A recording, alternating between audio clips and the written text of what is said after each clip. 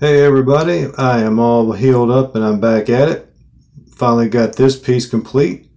This is Poseidon's Cut and this is part of my upcycling project where I'm trying to get hard to recycle plastics into my artwork and that's what we have right here. So uh, thank you guys very much for sticking with me while I've been healing but uh, my shoulder's much better now and uh, be sure to check this out on YouTube parts 1 through 4 you can see how I went from this to this.